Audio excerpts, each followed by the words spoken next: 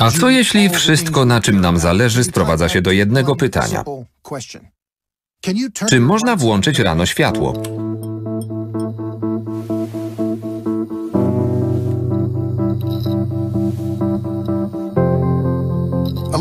Elektryczność jest wszędzie, lecz rzadko o tym pamiętamy.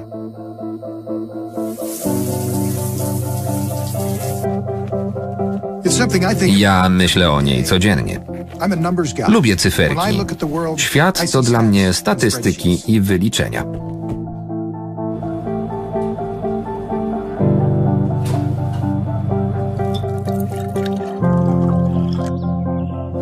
Mój dom jest pełen urządzeń. Kuchenka, stylowy czajnik, zmywarka, toster, piekarnik i najważniejszy gadżet. Cały internet w mojej dłoni. Niemal wszystko, czego dotykamy, co czytamy, jemy bądź nosimy, powstało dzięki elektryczności. Moja lodówka zużywa rocznie tyle energii, ile z grubsza 3 miliardy ludzi. Prąd nie zapewni bogactwa, lecz jego brak niemal zawsze prowadzi do biedy.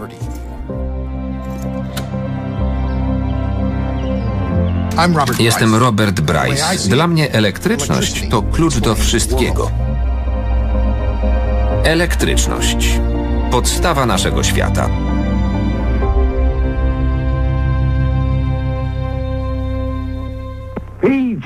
PGE przedstawia Rediego, niestrudzoną pomoc domową.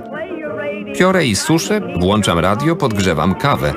Zawsze do dyspozycji, pełen energii. Ready Kilowatt. Włącz mnie. Czekam. Prąd stał się oczywistością. Elektryczność jest inna od pozostałych form energii, gdyż po raz pierwszy kontrolujemy niewidzialną siłę. Dzięki sieci elektrycznej udało się ujarzmić ruch niezliczonych elektronów i zaprząc je do pracy, kiedy tylko zechcemy. Potrzebuję paru informacji. Narodowa Akademia Inżynierii uznała sieć elektryczną za najważniejsze odkrycie inżynieryjne XX wieku. Skorzystał każdy, nie tylko bogaci. Reklamy lat 30. i 40. były skierowane do gospodyń domowych. Ułatw sobie życie, kup pralkę i kuchenkę. Elektryczność pozwoliła ludziom, a szczególnie kobietom i dziewczynkom, uwolnić się od ciężkich prac.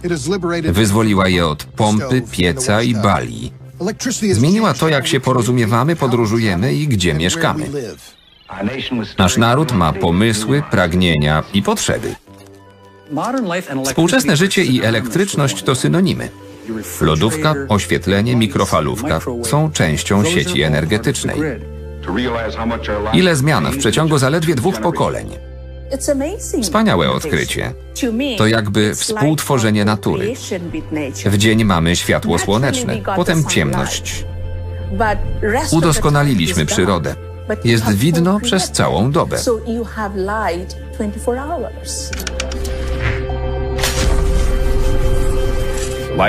Ziemia ma 4,5 miliarda lat, Homo sapiens pół miliona, a cywilizacja zaledwie 40 tysięcy lat. Postęp ludzkości dokonał się za sprawą ognia, koła, dźwigni i budowy statków. Dajcie mi wystarczająco długą dźwignię, a poruszę Ziemię. Postęp znacznie przyspieszyły dwie rewolucje. Pierwsza, przemysłowa, 150 lat temu. Całkowicie przeobraziła cywilizację. To jednak nic w porównaniu z tempem zmian w erze elektryczności.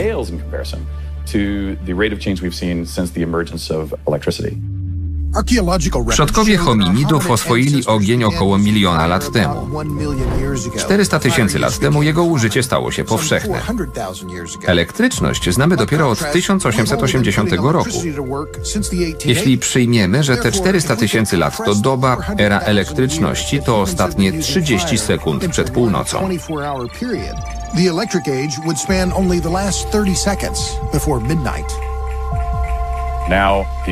Tempo zmian jest tak szybkie, że nawet specjalistom trudno jest ustalić ich naturę i kierunek. To ciągłe zaskoczenie.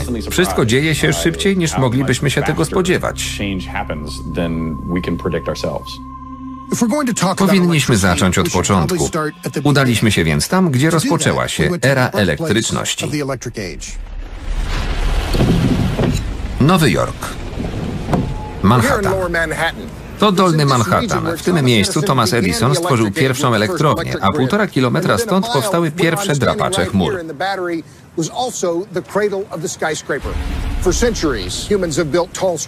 Ludzie od wieków tworzą wysokie konstrukcje, jednak to elektryczność zrewolucjonizowała miasto.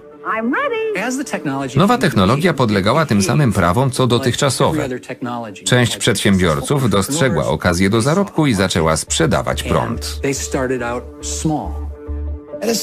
Edison chciał zbudować elektrownię, by dostarczać światło elektryczne wszystkim chętnym, najlepiej w pobliżu Wall Street, by pozyskać bankierów.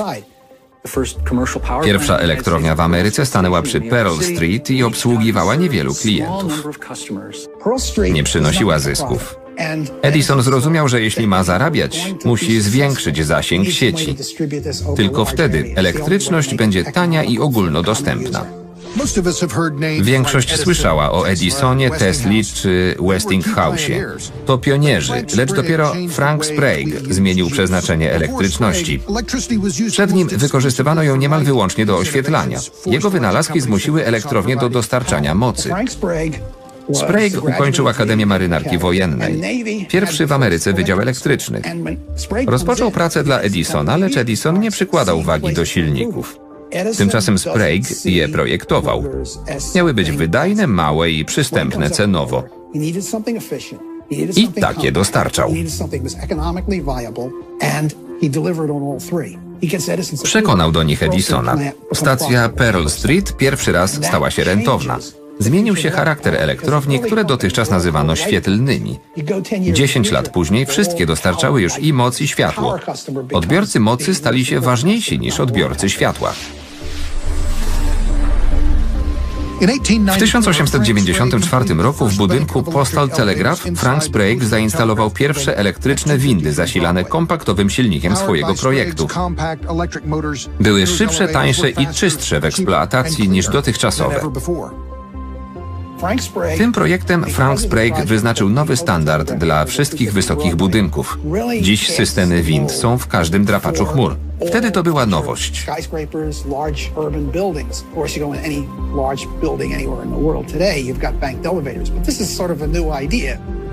Wysokość wymaga elektryczności. Przez 30-40 tysięcy lat ludzkość zasadniczo żyła na płaskim.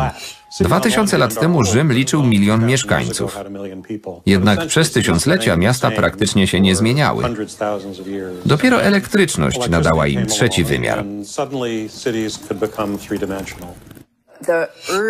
Chęć pięcia się w górę widoczna w XX wieku w Nowym Jorku była przejawem nieprzebranej ilości skoncentrowanej energii. Średniowieczne świątynie i katedry były niskie jak na obecne standardy. Architektura często wykorzystywała wysokość, by symbolicznie podkreślić rangę budowli, ich duchowy wymiar. Jednak w Nowym Jorku, w pewnym sensie stolicy kapitalizmu, wysokościowce miały zaspokoić popyt na dobrą lokalizację w centrum miasta. Windą człowiek wjeżdża na wysokość, na której czuje się niekomfortowo, czyli powyżej piątego, szóstego piętra. Zdolność budowy 30-60 metrowych budynków, co nie wydaje się wysoko, całkowicie przeobraziła układ i geometrię miast. Powstały wielkie biurowce, w których tysiące ludzi pracuje dla jednej firmy. Impulsy elektryczne wprawiają w ruch system wind. Patrząc na wysokościowce z kosmosu, można obliczyć, ile watów na metr kwadratowy zużywa dany obiekt. W miastach takich jak Nowy Jork konsumpcja energii w przeliczeniu na powierzchnię jest niezwykle wysoka. Miasta wertykalne zmniejszają nasz ślad węglowy. To dobrze. Duża gęstość zaludnienia, tak pod względem produkcji energii, jak i żywności, jest eko. Postępowi ludzkości towarzyszy rozwój surowcowy. Przeszliśmy od źródeł o niskiej gęstości energetycznej do paliw gęstych energetycznie. Elektryczność to dziś najlepsze medium energetyczne nowoczesnych społeczeństw. Elektryczność często nazywana jest najważniejszym zasobem. Bez niej cofnęlibyśmy się w czasie do świata, z którego uciekliśmy dzięki wynalazkom. Człowiek był zależny od drewna i obornika, a w miastach od koni i zaprzęgu. Życie w mieście szybko stało się koszmarem. Drabina energetyczna obrazuje wzrost zamożności człowieka i to, jak chronimy środowisko. Jako ekolog uważam, że miasta ratują przyrodę. Tylko skupiając znaczną ilość ludzi w atrakcyjnych do życia miastach mamy szansę ocalić naturę dla lwów, tygrysów czy orłów.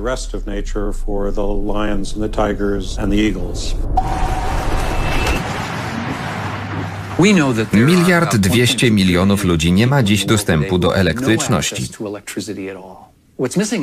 W tych statystykach nie ma nic o miliardach tych, którzy ten dostęp mają niewystarczający, sporadyczny.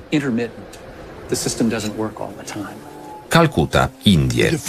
Dziś nierówność społeczną mierzy się przepaścią między bogactwem a ubóstwem energetycznym, czyli Wróćmy do mojej lodówki. Rocznie zużywa około 1000 kWh. Według moich obliczeń każdy z 3 miliardów ludzi na świecie konsumuje mniej energii niż moja chłodziarka. Indie. Kraj równie pradawny co nowoczesny. Idzie z duchem czasu i żegna się z przeszłością.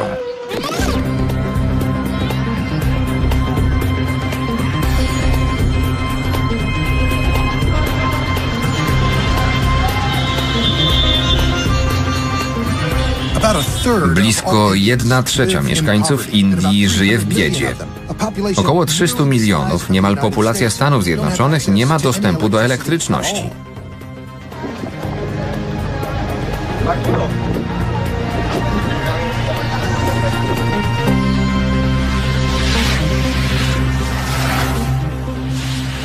Ludzie posuną się do wszystkiego, by zdobyć elektryczność, nawet do kradzieży. Podpinają się hakami do istniejącej instalacji i ciągną prąd za darmo. To kradzież. W centrum Kalkuty proceder jest nagminny. Elektrownia ponosi straty techniczne i handlowe na poziomie 11,5%. Średnia krajowa wynosi 40%. Może pan powtórzyć? To szokujące. Nasze straty techniczne i handlowe wynoszą 11,5%. Średnia w Indiach to jakieś 40%.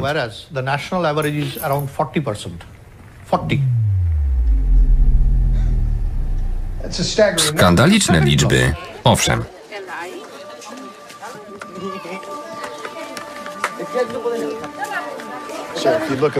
Nade mną widać dzikie podpięcia.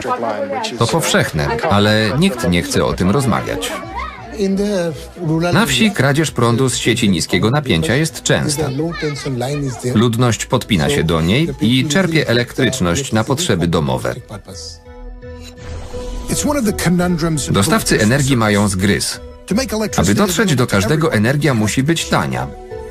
Ale nie może być tania, gdy system jest nieszczelny. Problemem jest kradzież prądu i jego drakońskie ceny. Szczelność ma takie samo znaczenie jak infrastruktura. Można mieć żywność, lecz nie mieć elektryczności. To przypadek wielu społeczeństw. Ich poziom życia dalece odbiega od dzisiejszych standardów. To palenisko na biomasę, a to słoma ryżowa. Umieszcza się ją w zagłębieniu, a na górze stawia się naczynie. To tradycyjna metoda gotowania. Istnieje zależność między używaniem biomasy a zdrowiem. Kobieta przyrządzająca posiłek wdycha mnóstwo zanieczyszczeń.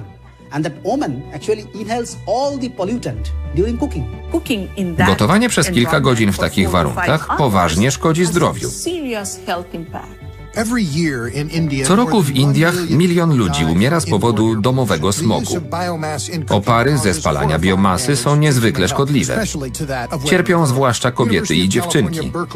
Profesor Kirk Smith obliczył, że gotowanie na biomasie można porównać do wypalenia 400 papierosów w godzinę. Prace domowe to domena kobiet i ich córek. Przy braku elektryczności zajęcia te są ciężkie, czasochłonne i mało wydajne. Matki całymi dniami wykonują podstawowe prace domowe.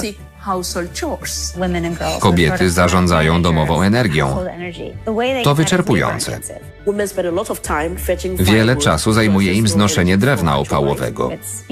Zbierają też obornik, noszą wodę. Bez lodówki gotują codziennie.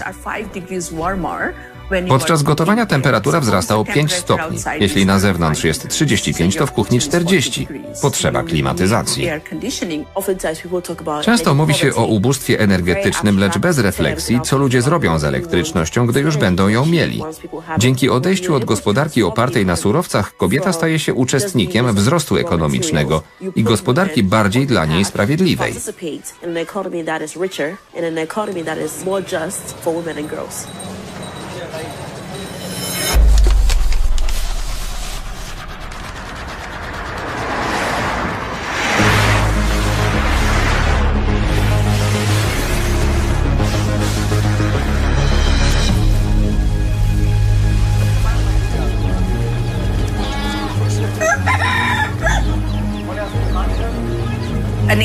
Latem w Indiach słońce zachodzi około godziny 18.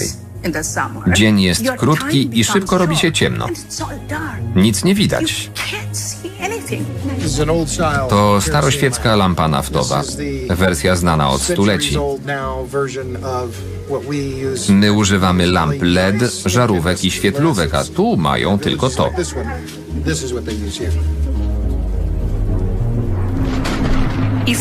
Jeśli wokół panują ciemności, ciemność ogarnia też ciebie.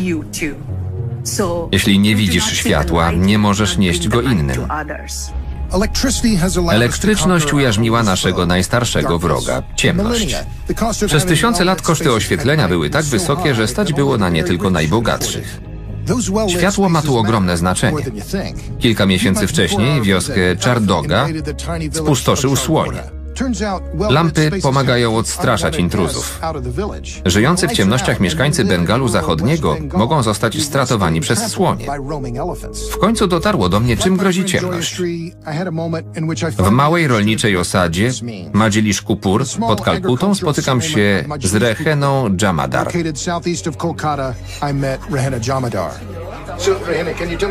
Jak elektryczność zmieniła Twoje życie?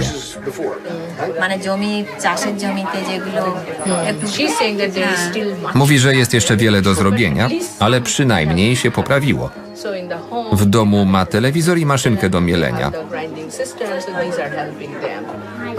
I dzieci mogą czytać po zmroku.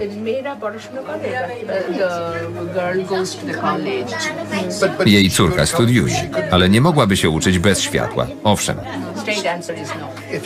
Gdybyś w młodości miała światło, poszłabyś na uniwersytet?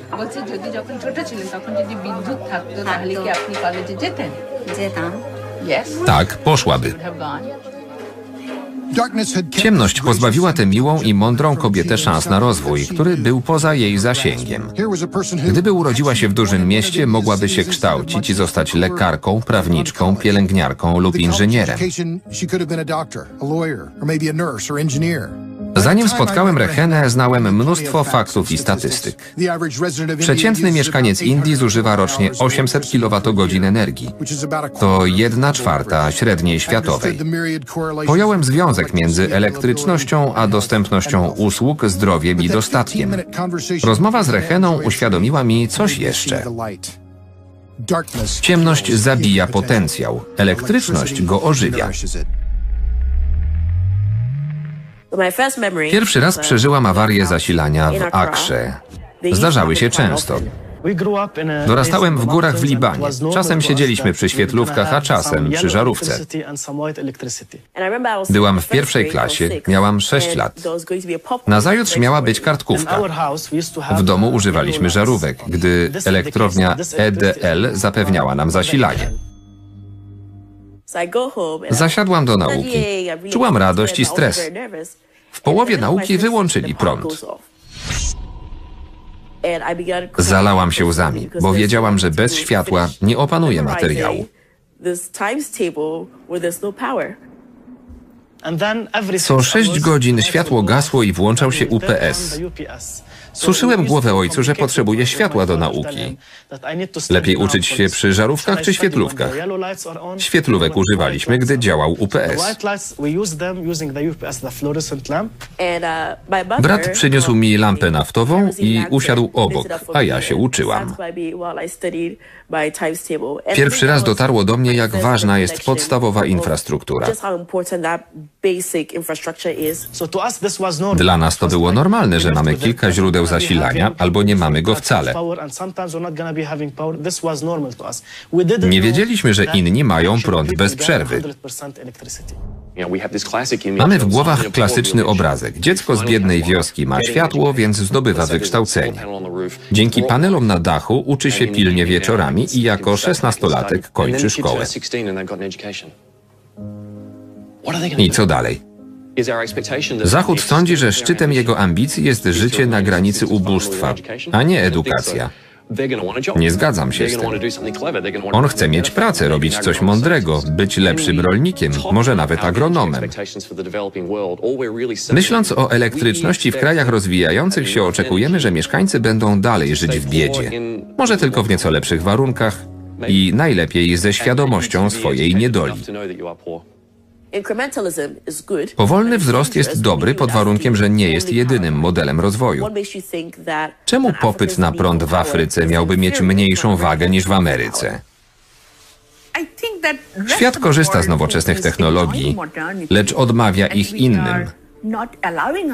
To poważne przestępstwo.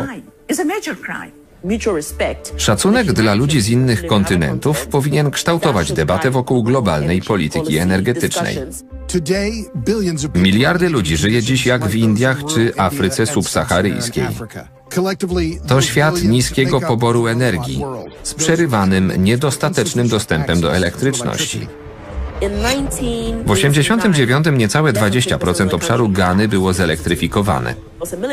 Wojskowi, którzy doszli do władzy w wyniku puczu, zdecydowali, że do 2020 roku każdy będzie miał prąd.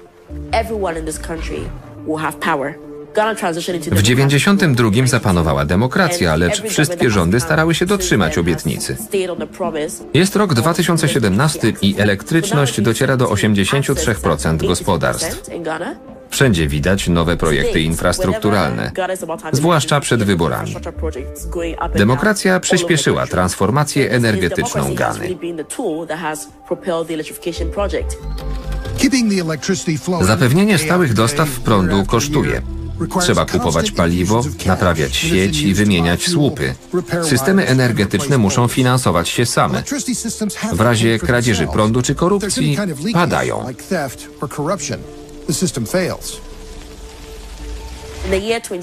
W 2050 roku większość światowej populacji będą stanowić Afrykanie.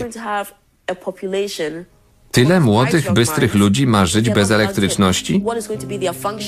Jaka będzie ich rola? Stoimy w obliczu wielkiego kryzysu demograficznego. Powinniśmy sprawić, by do połowy stulecia afrykańska młodzież była silna, niezależna, upodmiotowiona i wolna od biedy. Musimy jej zapewnić elektryczność. Natychmiast. Podczas gdy ubogie kraje próbują wydobyć swoich mieszkańców z ciemności, Stany Zjednoczone cieszą się wręcz bezwstydną obfitością energii. Elektryczności jest tyle, że wymyśla się coraz to nowe sposoby wykorzystania jej na masową skalę. Ten film może tobą wstrząsnąć.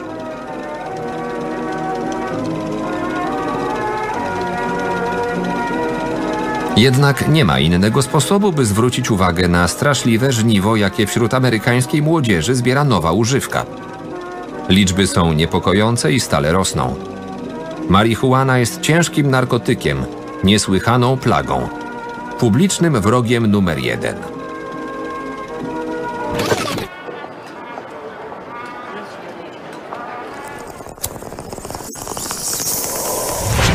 Boulder w stanie Colorado.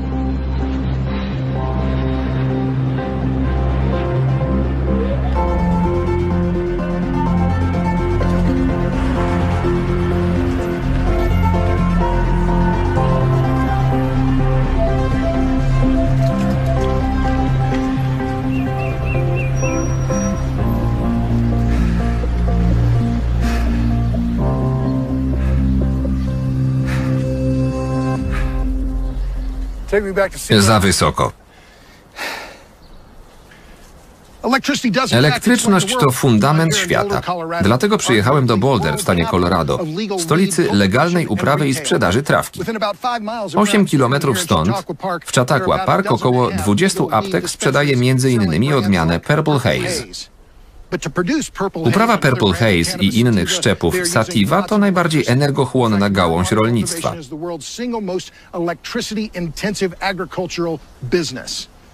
Tu elektryczność używa się do produkcji zioła.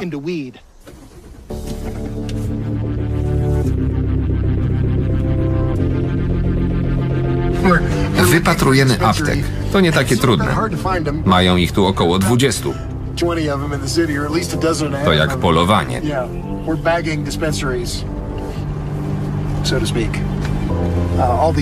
Na aptekach widać wielkie szyldy. Tymczasem uprawy mają tylko adres. Na budynkach nie ma oznaczeń. Spójrzcie na te przewody. Gruba, trójfazowa instalacja idąca do skrzynki rozdzielczej. Całe metry kabli, świeżo położone. Co innego mogliby tu robić? 500 kV-amperów. Nowy transformator, tylko na potrzeby uprawy.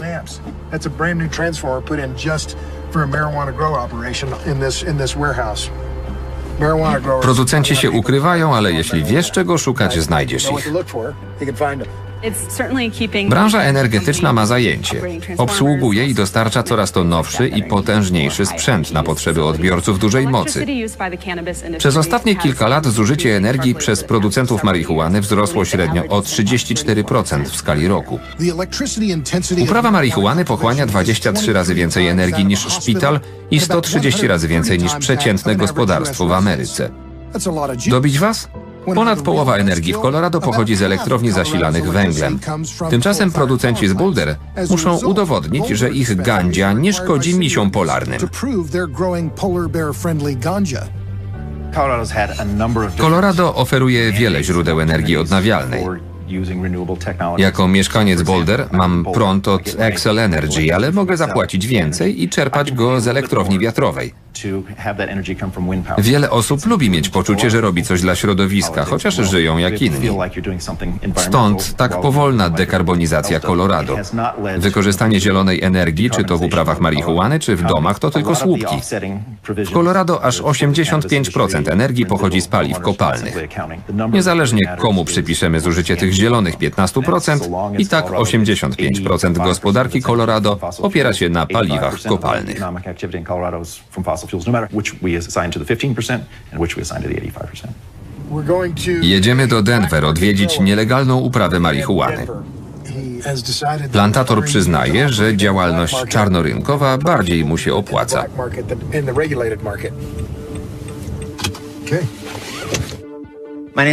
Mam na imię Daniel, jestem kierowcą Ubera i uprawiam konopie. W 2003 roku zostałem aresztowany i skazany. Wypadłem przez to z legalnego rynku marihuany.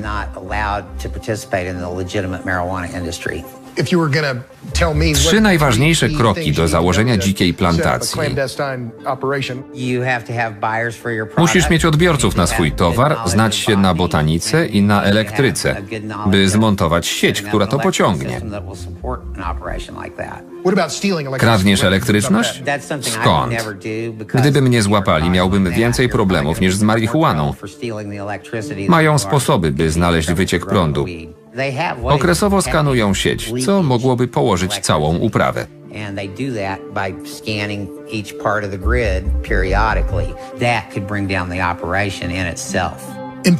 W 2013 roku nielegalne plantacje w Denver zużywały 100 gigawatogodzin energii. W 2016 już niemal trzykrotnie więcej. Dla porównania, biznes konopny w Denver konsumuje tyle energii, ile całe Burundi. is what's consumed by the entire country of Burundi. Colorado miało plan ograniczenia emisji do 2020 roku, lecz przesunięto go o 5 lat, ponieważ się nie wyrobiliśmy. Do połowy stulecia zamierzamy zmniejszyć emisję dwutlenku węgla o 80%. Jednak jeśli emisja będzie rosła wykładniczo, to nam się to nie uda. Na razie plan nie jest zagrożony.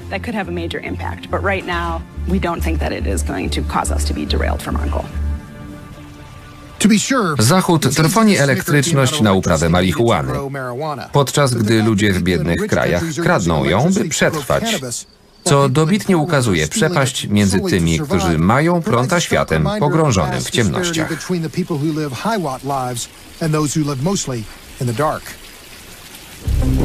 20 września 2017 roku huragan Maria uderza w Portoryko.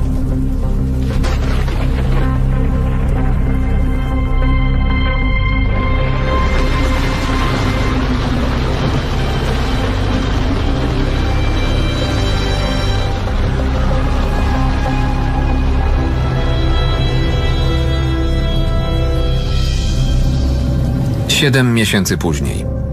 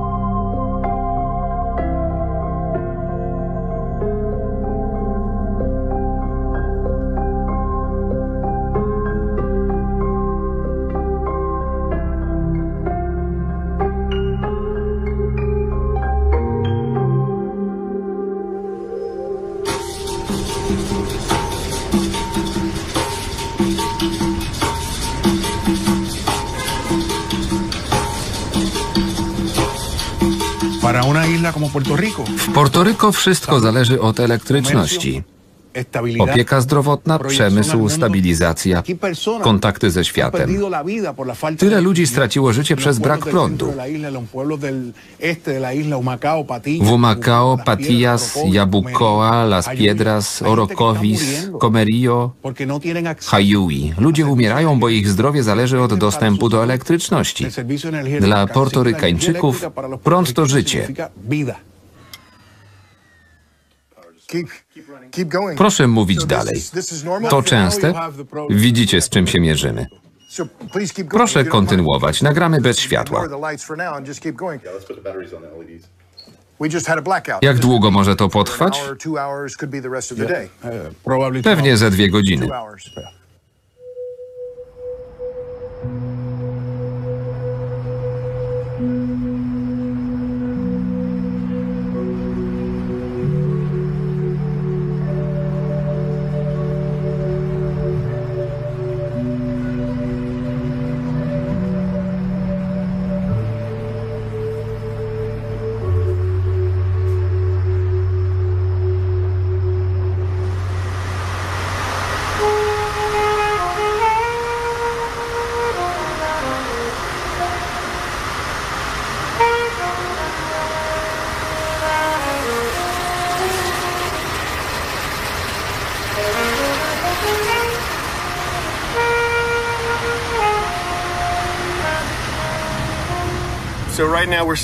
Jedziemy w korkach. W mieście jest awaria zasilania. Sygnalizacja oczywiście nie działa.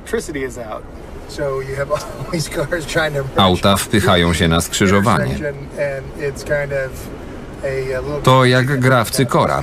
Kto przejedzie, kto ustąpi. Na razie wygrywam.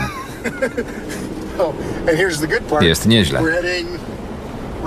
Jedziemy tam, do elektrowni, która też nie działa i nikt nie wie dlaczego. no.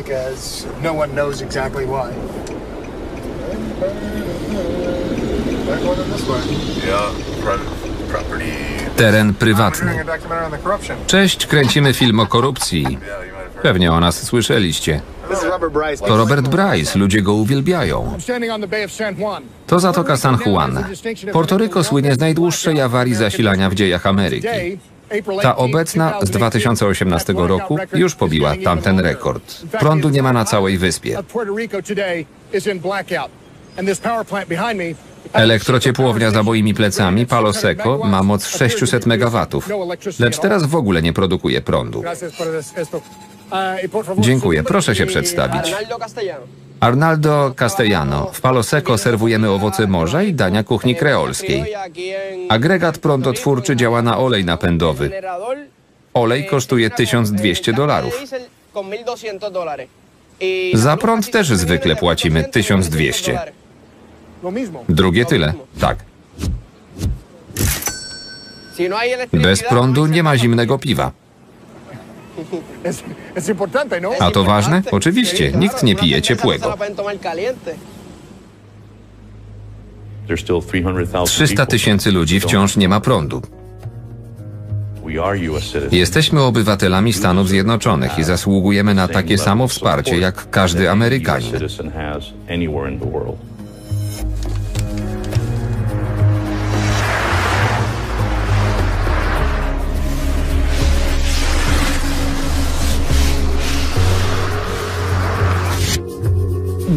Nie da się produkować bez elektryczności.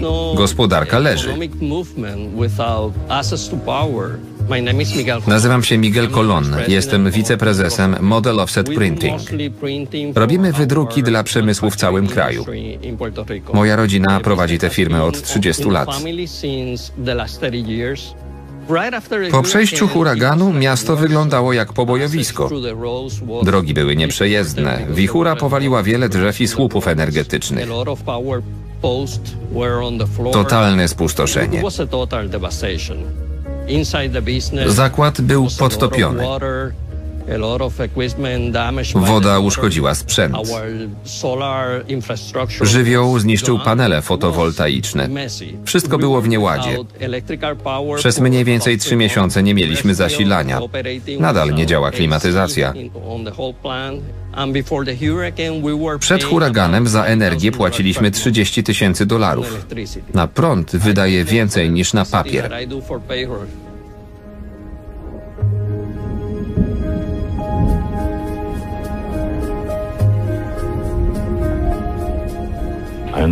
Wiem, że to wyspa i że potrzeba czasu, by naprawić zniszczenia. Ale 7 miesięcy? Jest jakiś plan? Część ludzi wciąż nie ma wody. Nie mamy tu ani prądu, ani wody pitnej. Musimy korzystać z pomp wodnych. Nie tylko my, ale cała dzielnica. Do nas woda nie dociera.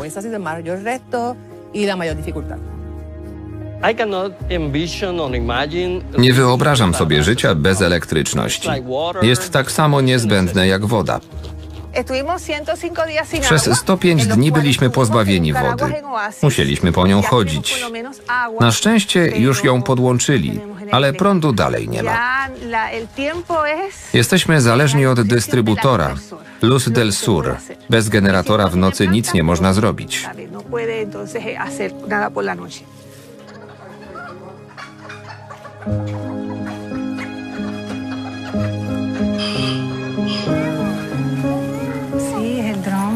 Gracias, Iris. Por favor. Jak się nazywasz? Iris Ortiz Perez. Mieszkam w dzielnicy Anton Ruiz. Kiedyś uważaliśmy prąd za coś oczywistego. Włączałam światło i tyle. Cofnęliśmy się do czasów mojej babki. Moim rodzicom jest ciężko bez prądu. Nie mogą oglądać telewizji. Wpadli w depresję, mają lęki. Nasiliła się u nich choroba Alzheimera. Przez brak prądu muszę prać ręcznie. A do tego gotuje na patyczkach i piasku.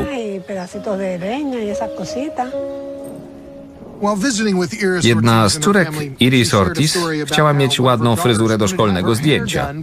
Była zrozpaczona. Jak ułożyć włosy bez suszarki? Jak wyprasować ubrania? Udogodnienia dla nas oczywiste nagle zniknęły. Świat tych ludzi runął. Są obywatelami Ameryki, a żyją jak biedacy. Sieć energetyczna to była prowizorka na klamerki do bielizny. Huragan Irma szybko ją powalił. Dwa tygodnie później przyszedł knockout. Cała wyspa była usiana klamerkami. Wszystko się rozpadło. Zaczęła się walka o zasoby. Federalna Agencja Zarządzania Kryzysowego przejęła nad nimi kontrolę. Nie dla wszystkich wystarczało benzyny. Była zarezerwowana dla wojska i agencji. To samo z wodą pitną.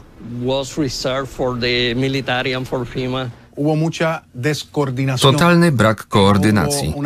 Nie było żadnej strategii opanowania kryzysu. Nie zauważyłam, by postawiono nowe słupy energetyczne czy transformatory. Zapomniano o nas.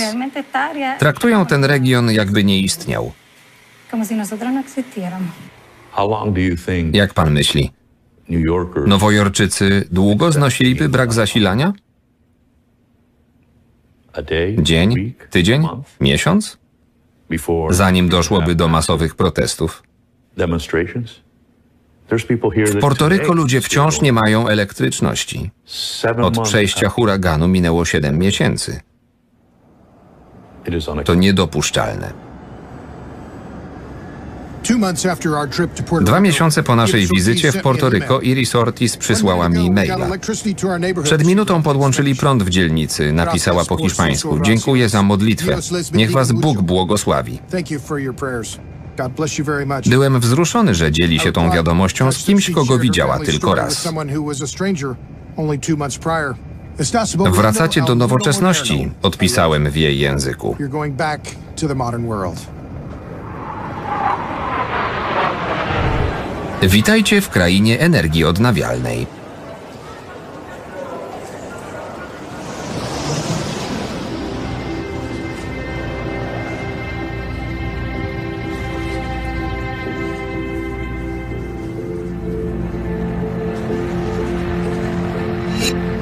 Islandia.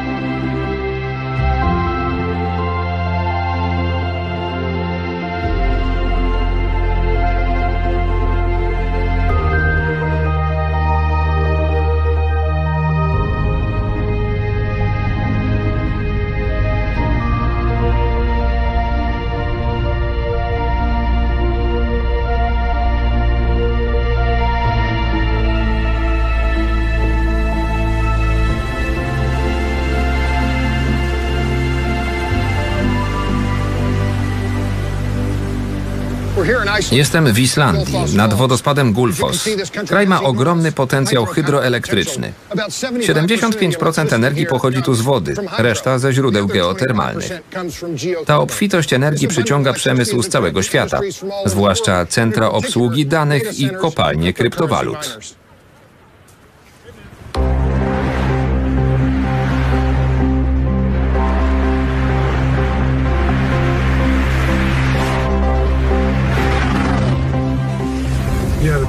Partia Piratów mówi: przyjeżdżajcie. Nie ma inwigilacji jak na Kapitolu. Po lewej jest ich parlament, przy Wonar Straity. Mały jak na siedzibę rządu. Mają 330 tysięcy mieszkańców.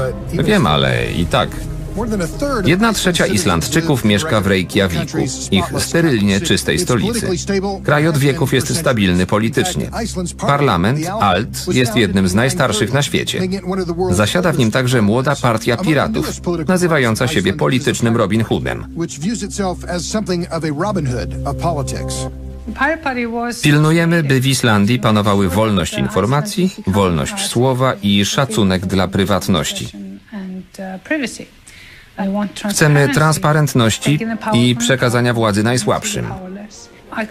Stworzyłam partię piratów, by wdrożyć te postulaty.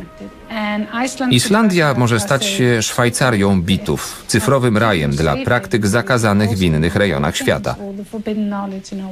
Ta wizja odpowiada Centrum Obsługi Danych.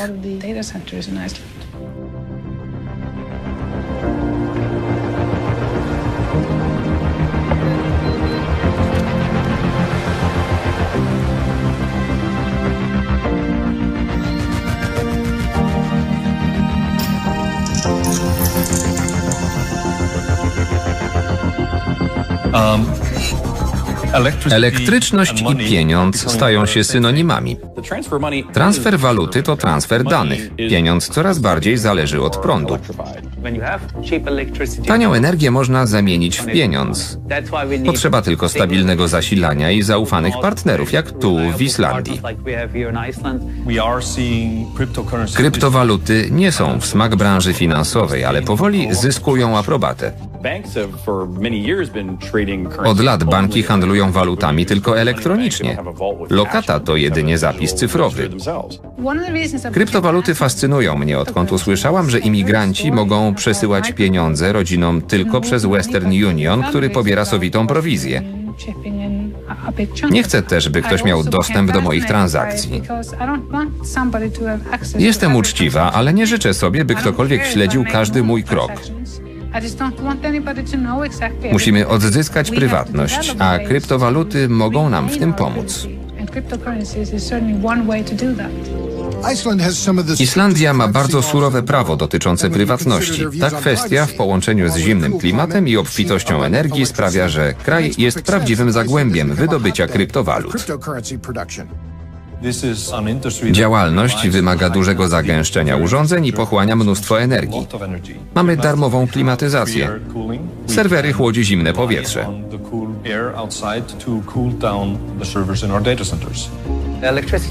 Zużycie energii z pewnością wzrośnie, ponieważ im więcej wydobytych bitcoinów, tym trudniej pozyskać kolejne. Według niektórych prognoz w roku 2020 kopalnie bitcoina zużyją tyle elektryczności, ile cała Dania. To strasznie energochłonny przemysł.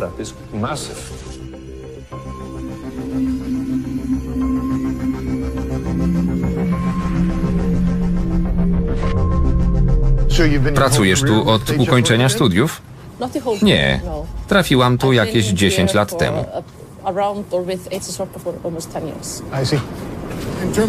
Ile energii produkuje się w tej elektrowni geotermicznej? W sumie 175 MW. Islandia jest dziś krajem wysoko rozwiniętym.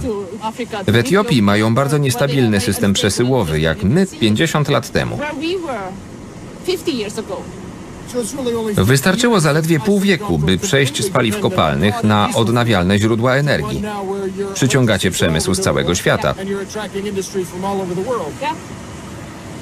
Proste pytanie. Co wam daje elektryczność? Technologie. Innowacje i wyższy poziom życia.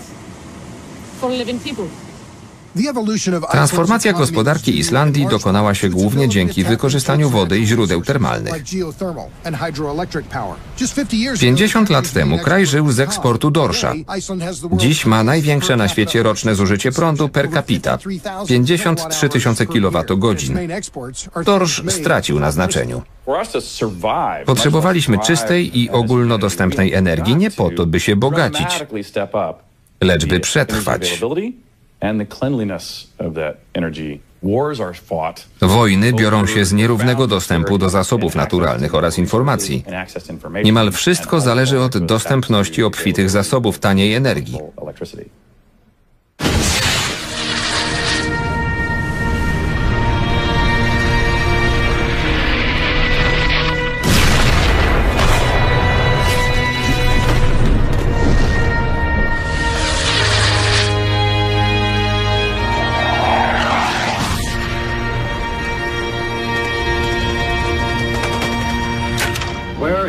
Tu historia narodziła się na nowo.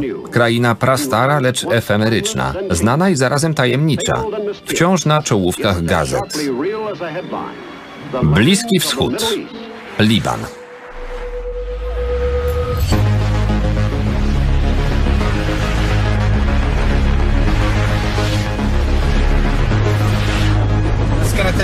Za kwadrans będziemy w hotelu. Bejrut. Skąd jesteś? Z Teksasu. Amerykanin. Ja z Michigan. Żartujesz. Zawsze chciałem tu przyjechać. Marzyłem o tym. Baw się dobrze.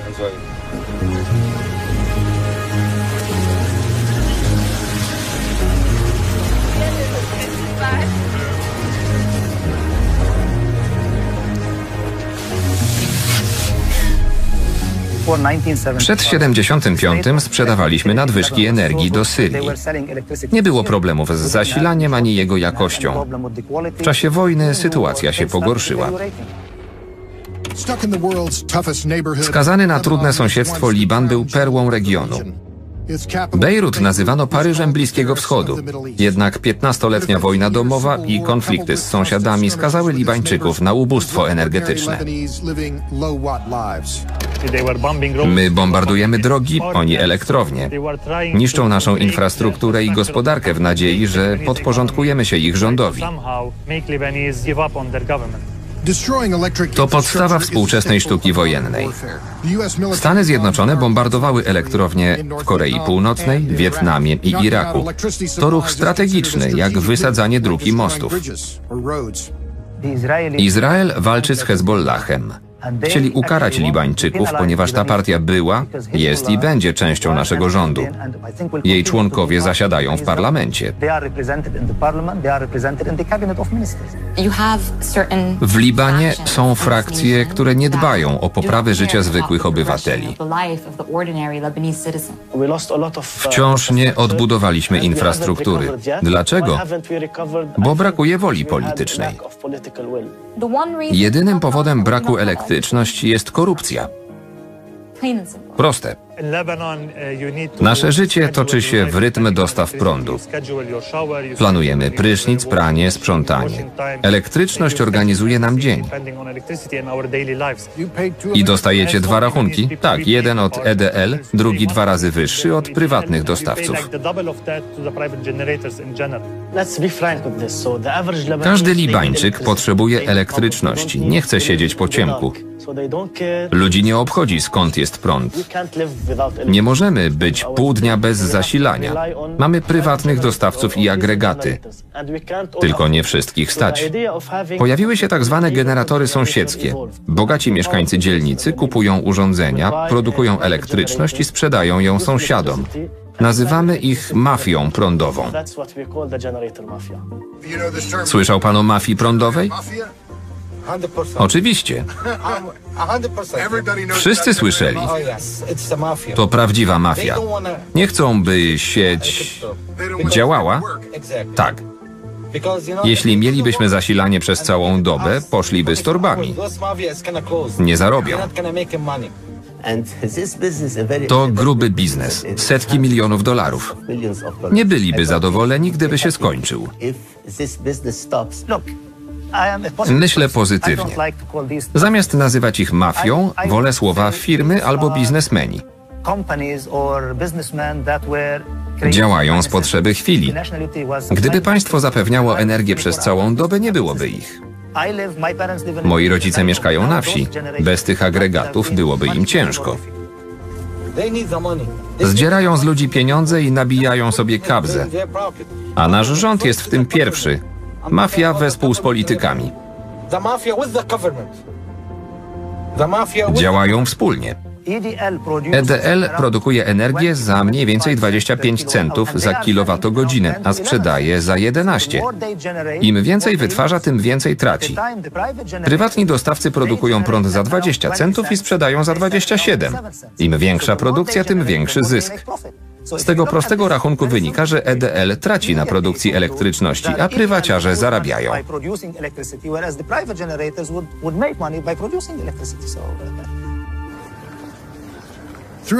Pytałem wielu Libańczyków, co sądzą o mafii prądowej. Najlepsza była odpowiedź ministra energetyki. Milczał, a potem odparł śmiertelnie poważnie, że nie wszyscy prywaciarze to mafia.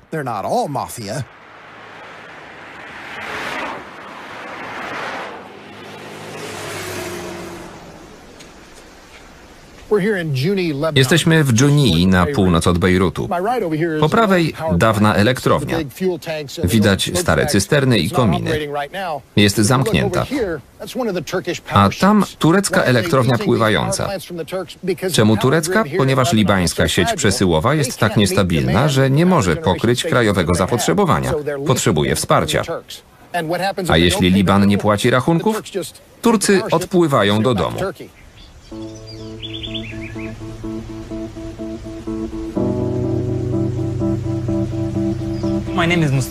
Mustafa Balbaki, 30 lat, inżynier oprogramowania. Mieszkam w Bejrucie. Moja aplikacja Beirut Electricity wysyła powiadomienia o planowanych przerwach w zasilaniu na 10 minut przed wyłączeniem. Zdążysz zjechać windą albo zapisać dane.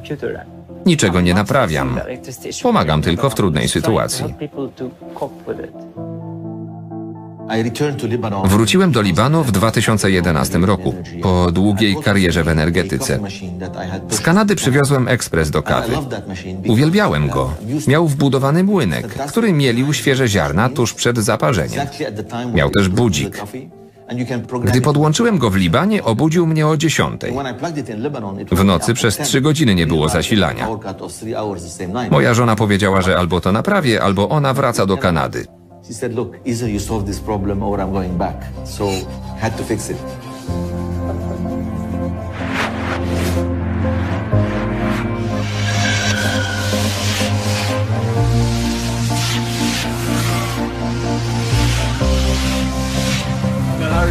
Jedziemy na wstecznym. To tu, E E24.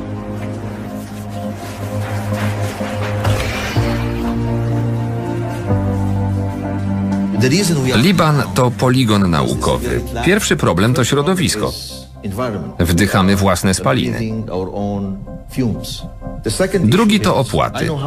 Znam rodziny, które wydają 800 dolarów na kredyt mieszkaniowy i drugie tyle na prąd.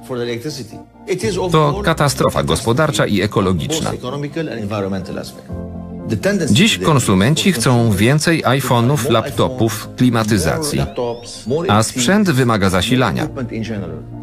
Każdy kraj na świecie ma jako taką infrastrukturę przesyłową, ale im większe państwo, tym dłużej trwa jej modernizacja. Przyszłością są mikrosieci. Microgrids are the future. Mimo wyzwań takich jak korupcja, wojna i prywatne agregaty, drogie i kopcące, w Libanie działa E24. Promuje energetykę solarną. Liban ma słońca w brud, a także magazynowanie energii. W Kirzai firma stosuje akumulatory ołowiowe zaprojektowane w Bułgarii, produkowane w Indiach i ładowane przez chińskie panele słoneczne. To rzeczywista mikrosieć niezależna od EDL i od mafii prądowej. Istnieje wiele źródeł czystej energii. Powinniśmy korzystać ze wszystkich. Byłoby wspaniale, gdybyśmy mieli darmową elektryczność z zerowym wpływem na środowisko. Energia odnawialna sprawdza się tam, gdzie jest dużo słońca i wiatru. Nie trzeba niszczyć ziemi, by z nich korzystać. Wizja świata zasilanego wyłącznie zieloną energią jest atrakcyjna. Kojarzy się z czystością, prostotą, zdrowiem i babcinym ciepłem. Widok paneli słonecznych na dachu krzepi. Trzeba skupić się na kosztach, niezawodności i korzyściach dla środowiska. Nasze programy dekarbonizacji muszą brać pod uwagę te cele. Czemu martwią nas zmiany klimatyczne? Nie z powodu poziomu CO2 w atmosferze. Próbujemy chronić siebie i przyrodę, a zatapiamy lasy, stawiamy wiatraki po horyzont i pokrywamy pustynię panelami słonecznymi. Chcemy chronić te zasoby. Więc czemu majstrujemy przy nich w imię dekarbonizacji?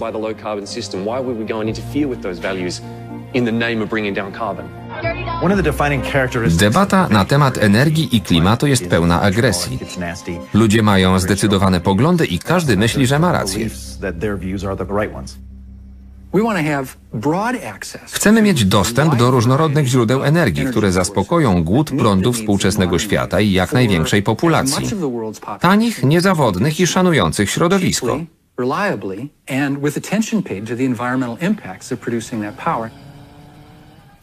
Taki jest cel. Czy energia odnawialna to dobre rozwiązanie? Myślę, że tak. Ludzie myślą, może zamiast rozbudować sieć, dajmy im panele słoneczne.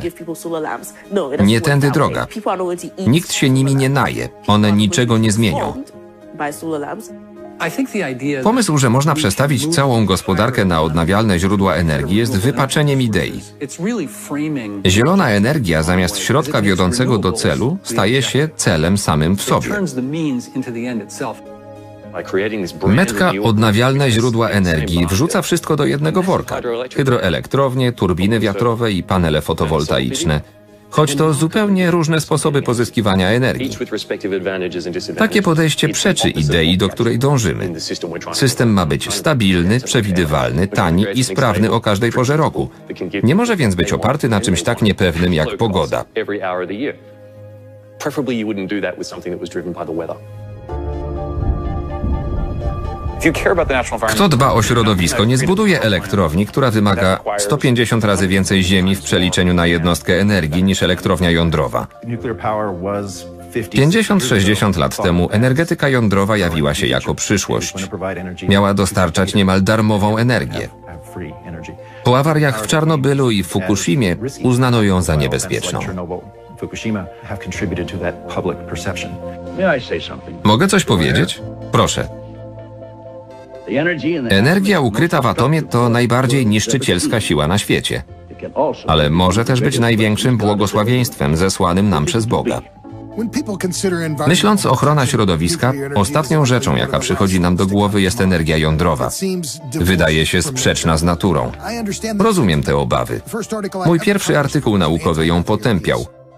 Byłem wtedy w liceum i jak wielu ludziom kojarzyła mi się z wyścigiem zbrojeń. Strach przed energetyką jądrową wśród ekologów ma długą tradycję. Większość z nich wywodzi się z ruchów pacyfistycznych i wiele zyskali na łączeniu atomu z bronią nuklearną. Wczesne instalacje jądrowe rzeczywiście wywodzą się z wojska. Elektrownie jądrowe do dziś kojarzą się ludziom z przemysłem zbrojeniowym.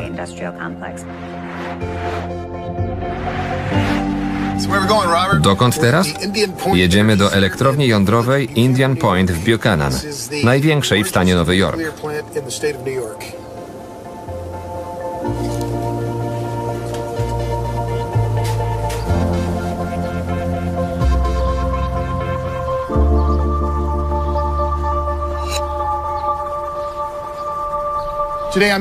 Jestem 65 km na północ od Nowego Jorku. Elektrownia działa od 1962 roku i wytwarza około 25% energii potrzebnej tej metropolii. Te dwa reaktory mają moc 2000 MW. Kompleks zajmuje powierzchnię zaledwie 1 km kwadratowego. Przy rozpadzie atomów uranu powstaje ogromna ilość ciepła. Ciepło to ogrzewa wodę, która po opuszczeniu reaktora w wymiennikach ciepła tworzy parę. Para zasila turbinę napędzającą generator prądu. Niełatwo tu wejść. Za nami kilka kontroli bezpieczeństwa i weryfikacja tożsamości, ale w środku dosłownie odebrało mi mowę. Widziałem już pola naftowe, kopalnie, hydroelektrownie, rafinerie, ale Indian Point to istny cud inżynierii i relikt minionej epoki. Aby zastąpić jej moc energią wiatrową, turbiny musiałyby zająć powierzchnię 1300 km2. To półtora Nowego Jorku. Trzymamy tu paliwo jądrowe z ostatnich 75 lat. Wypalone? Tak. Z ośmiu dekad działalności reaktorów. Wszystkie odpady mieszczą się na powierzchni kilku kortów tenisowych. Jakie jest prawdopodobieństwo, że ktoś je ukradnie? Zerowe. Każdy pojemnik waży 115 ton. Nasz sprzęt przenosi je z prędkością 1,5 km na godzinę. Przypomina czołg.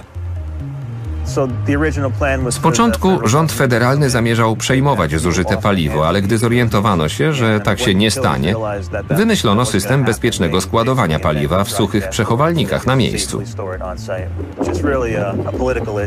Co dalej? To sprawa polityczna. Indian Point grozi podobny los co innym elektrowniom jądrowym w Ameryce, czyli przedwczesne zamknięcie. Od 2013 roku 15 z nich zostało wyłączonych lub ogłosiło plan zamknięcia. W większości przypadków mogłyby wystąpić o licencję, która pozwoliłaby im działać przez kolejne dziesięciolecia.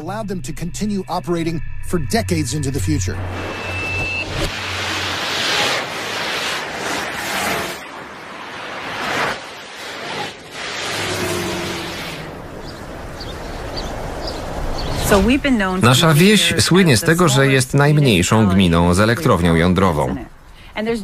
Pracowało w niej i wciąż pracuje kilka pokoleń mieszkańców. Największym pracodawcą jest Entergy. Zatrudnia tysiąc osób. Budżet wsi wynosi w przybliżeniu 6 milionów dolarów. Po zamknięciu elektrowni zmniejszy się o połowę. Jak wypełnić tę lukę? Czeka nas ostra recesja.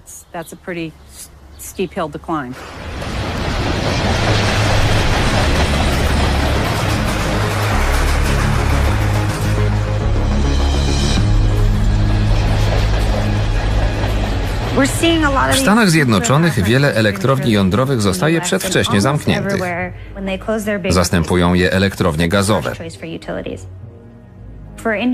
W Indian Point także planowane jest przejście na gaz ziemny, co będzie ogromną stratą, gdyż Nowy Jork ma ambitne plany dotyczące redukcji emisji, a Indian Point dostarcza aż 25% energii konsumowanej przez miasto. To ogromny krok wstecz pod względem polityki klimatycznej i dekarbonizacji. Indian Point to sprawdzona instalacja. Zastosowano tam wiele drogich rozwiązań i jest zeroemisyjna. Skoro zależy nam na redukcji emisji w Nowym Jorku, to po co zamykać bezemisyjne źródło energii? Pochwalam wizję ambitnej polityki energetycznej. Indian Point się w nią wpisuje. Z gospodarczego i ekologicznego punktu widzenia jej zamknięcie nie ma sensu. To pochopna decyzja polityczna. Ograniczenie emisji to ogromne wyzwanie i nie powinniśmy sobie podcinać skrzydeł. Aby zastąpić węgiel, będziemy potrzebować mnóstwo energii słonecznej, wiatrowej, a także jądrowej i gazu.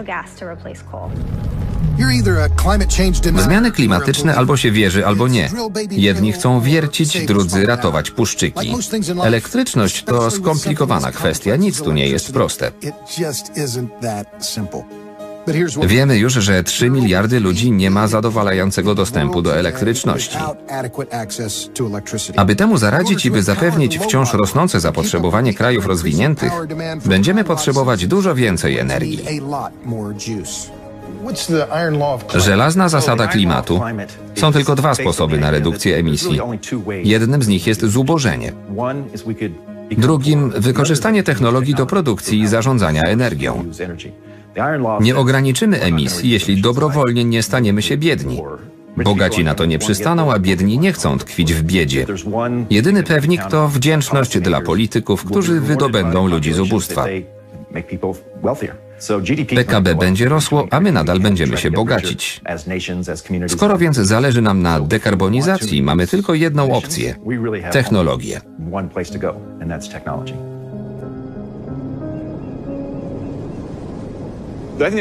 Energetyka jądrowa to jedyna droga, by wydobyć ludzi z biedy i zapobiec zmianom klimatycznym.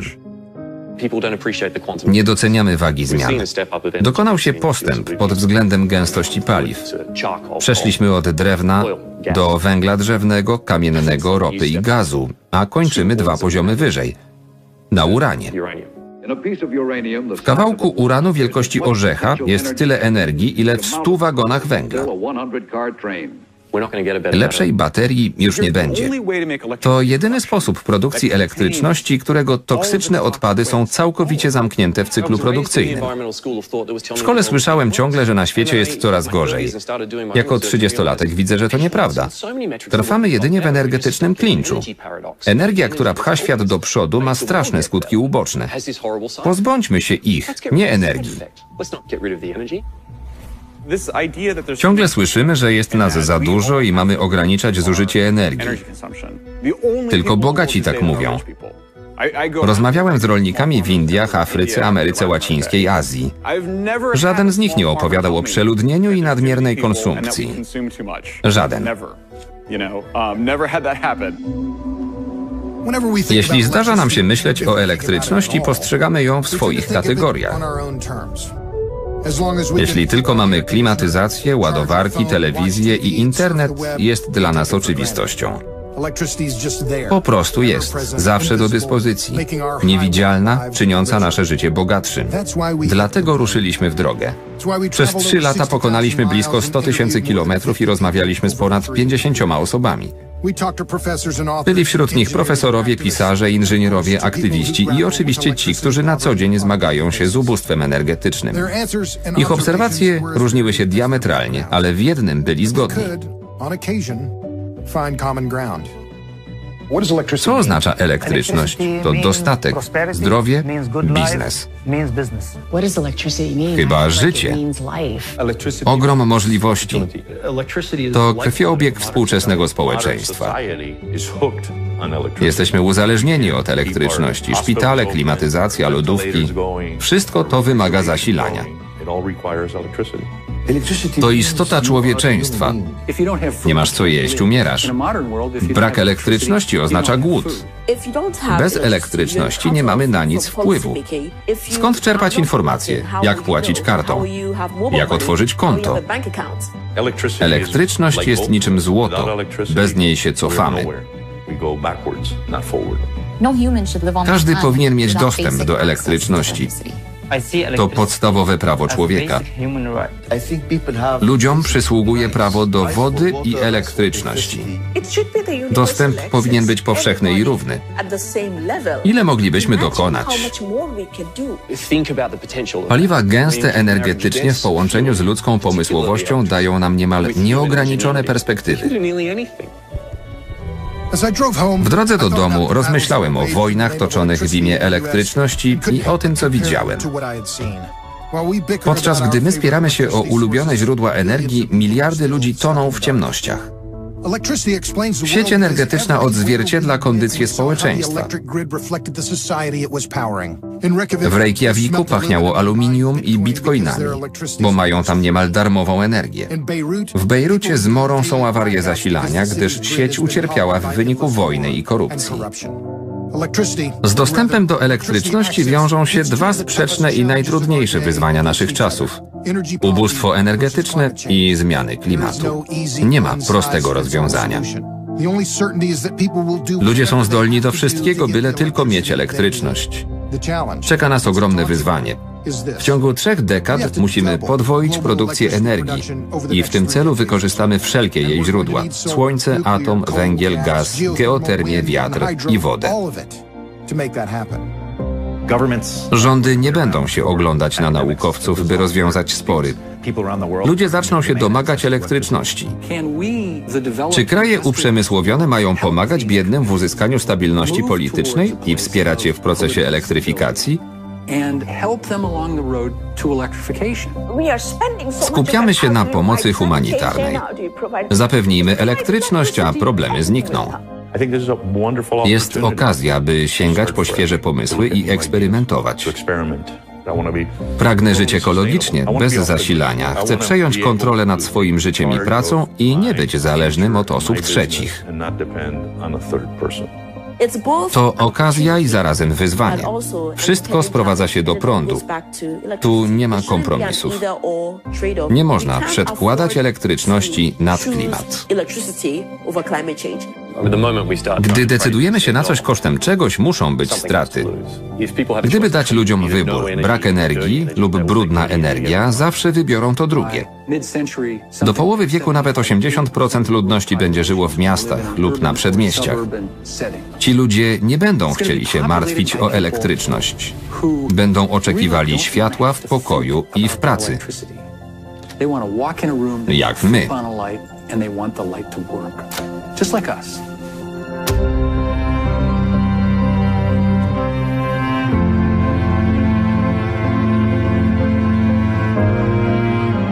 Wersja polska Kanal Plus. Tekst Agnieszka Kraszewska.